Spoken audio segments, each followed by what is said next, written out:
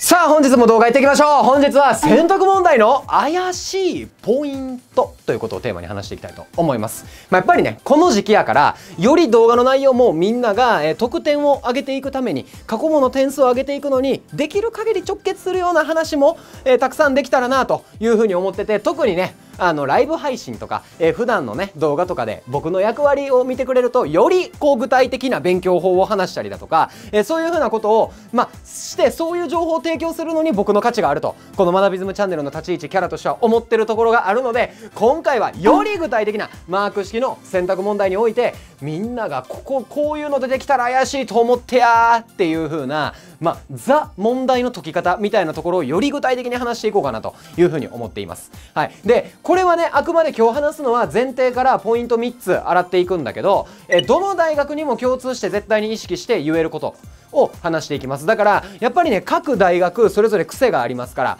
えよく出てくる論理展開はこういうのだよとかっていう風なねその大学ごとの色が知りたい。品質のの高いものが知りたいとかっていう人は、え入試直前パックの大学別対策講座を申し込んでくれたらみんなの志望校の過去問だけで形成されている、え講座みんなに配信しておりますので概要欄の URL から特設ページに飛んでですね、え詳細確認して申し込むようにしてください。はいということで、えー、告知はここまでにして早速本編に入っていきたいと思います。まずねポイント3つ話していく前にそもそもなんやけどちょっと前提としてみんなにこれからの受験でね追求し続けてほしいものが僕1個あります。はいそれが何かというとこちらになります。はいということでみんながここから点数を上げていくために追求していってほしいのはまさにこれなんですよ。間違いの選択肢の作り方です。めちゃくちゃ大事ですこれ。もうほんまに。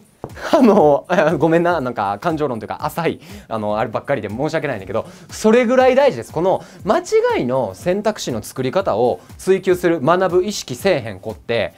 何も意識せんとそれ選択肢を読んでなんとなくここの話こんなところでしてた気するなでなんとなく本文に戻ってそれは英語とか現代文とか古文とかね。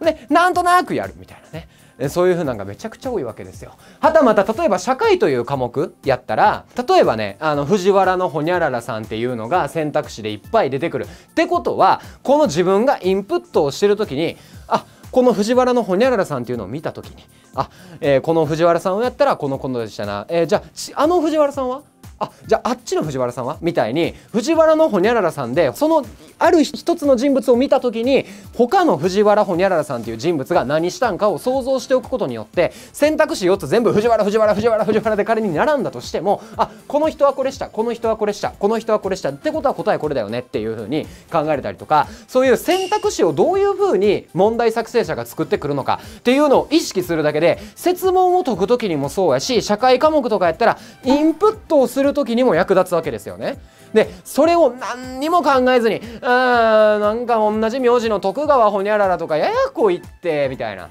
あもう全員一緒に見えてきたみたいなねぼやく子めっちゃいます。でもそれは勉強の考え方が間違ってるからそれだけの感想文みたいな勉強で終わっちゃうんですよ。それやと結果が出ない。だから間違いの選択肢の作り方っていうのをしっかりと追求していってください。これが大前提です。これをしっかりと自分が過去問やったり問題集やったりした時にただただ解説読むだけじゃなくてちゃんとそれを抽象化して次自分が初見の問題を解く時に活かせる知識としてインプットをする時に活かせる考え方としてちゃんと頭に叩き込んでくださいね。っていう前提がまず最初にある中である中でちょっとねやっぱり最初に言った通り具体的な、まあ、より実践で使えるテクニック的なあんまり話したくないんですけど正直。はいあの小手先に頼ってほしくはないからね。ただ時期が時期なんで小手先にも頼りつつ点数を貪欲にね上げていってほしいわけやから、まあ、特に選択問題で怪しいなっていうふうに思うポイントをこの3つに書いておきましたので必ずこの3つのポイントは押さえた上でですね、えー、話を聞いてもらえたらいいんじゃないかなというふうに思います。それじゃあ早速1つ目いきましょう。はいということでやっぱりねこれが一番多いかなっていうふうに思います。因果関係。あのね因果関係って特に英語とか現代文とかでは重宝してほしいんやけど、えー、選択肢の中でねこれこれこれこれこれこれはこうこうこうだったからこうこうこうみたいな。そういう風な因果関係の箇所って×になりやすいんですよ。でなんで×になりやすいかまあ×になりやすいというかこの選択肢切るとしたらここかなってみんな見抜けてほしいわけですよね。でそれがなんで因果関係が怪しいかって問題作成者が非常に選択肢作りやすいんですよ。しかも受験生が間違えやすいんですなんでかって言ったら因果関係×するのって例えばまあ、えー、めっちゃ簡単なあれで言ったら A だから B っていう風な選択肢の構成を例えばしてたとして本文では残念ながら C だから A みたいな書き方とか、B みたいな書き方を仮にしてた時に A も B も C も全部本文に書かれてる内容なんよ。で、それの言葉だけをちょこちょこっと入れ替えて A だから B っていう風に書かれると選択肢をパッと見た瞬間やったら本文と同じような言葉を使ってるからパッと見正解に見えるんよ、これ。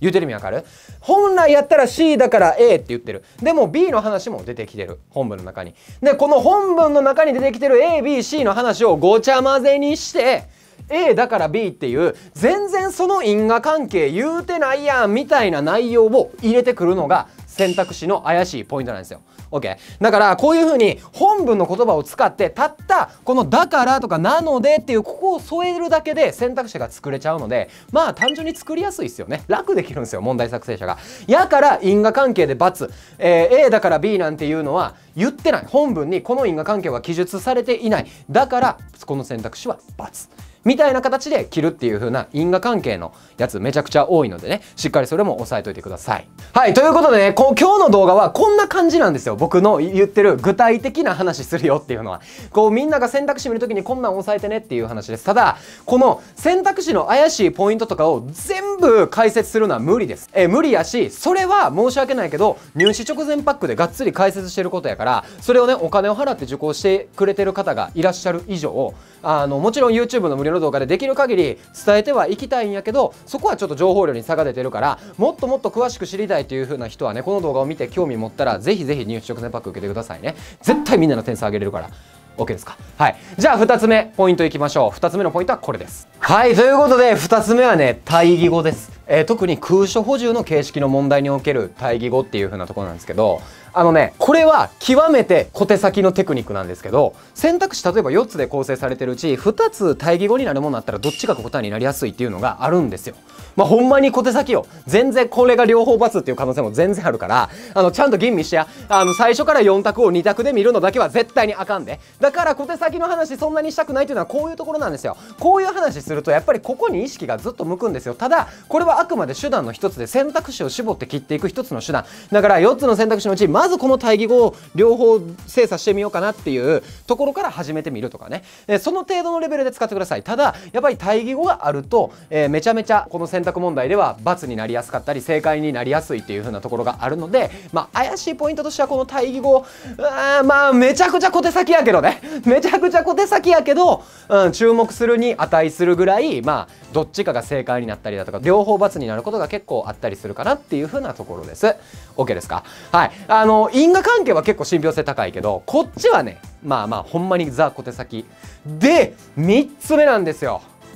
3つ目。これ最後に持ってきて一番語ります。あのあらかじめ言っておきます。一番語るんでマジで耳の穴かっぽちってきてください。あのめちゃくちゃいいこと言います今から。OK ですか？はいじゃあ3つ目いきましょう。はいということで3つ目は単語帳の意味そのままってやつですよね。めちゃくちゃあるって思った人いるんちゃいます？今井先生それ僕も私もこの間ありましたっていう人いるんちゃいます？特に英語と古文。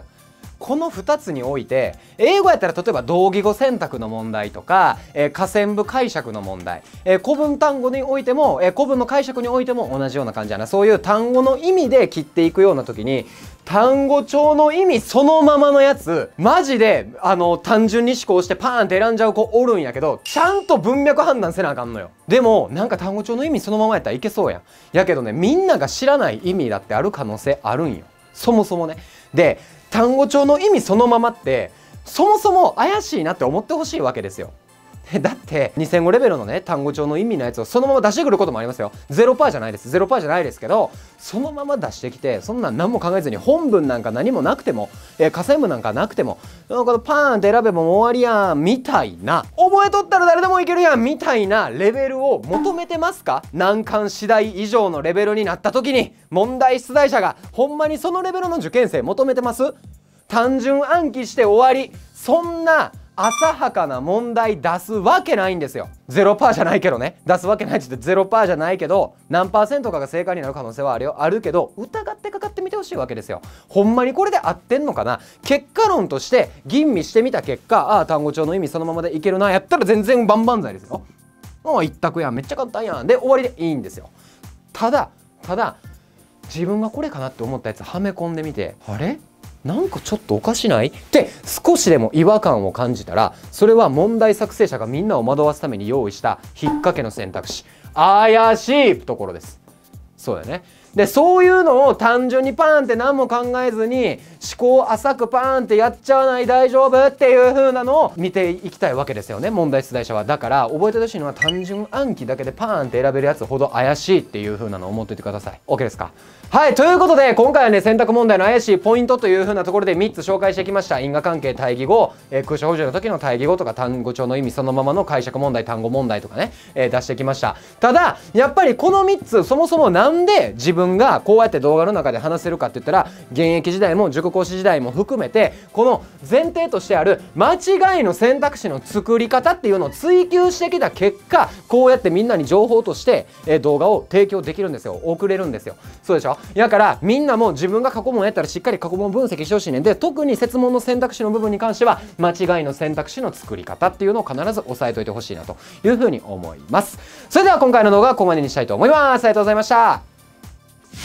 今日も動画最後まで見てくれてありがとうございます。マナビズムではですね公式 LINE を用意します。その公式 LINE では君の志望校であったり今の実力っていうのを入力していくことによってこの参考書この単語帳が最適ですよっていう風におすすめする英単語帳診断であったり総計マーチカンカン同率みたいな有名次第の傾向と対策はこうですよみたいな ebook 次第攻略バイブルっていうのをプレゼントしてます。なんで興味ある方はぜひ LINE 登録よろしくお願いします。